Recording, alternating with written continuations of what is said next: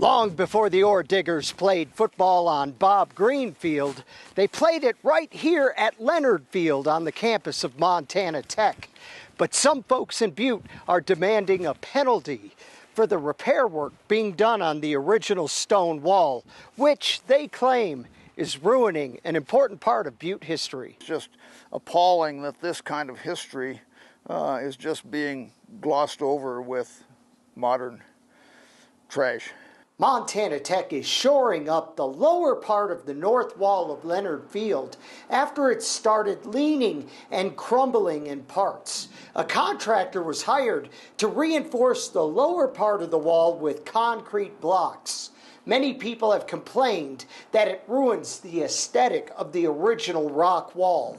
Every one of these stones was quarried largely by hand. Probably a lot of it was transported on wagons pulled by horses. Uh, all of it was placed by hand. Leonard Field was built in 1931 and served as a football field, baseball diamond, track, and even flooded in the winter for an ice skating rink.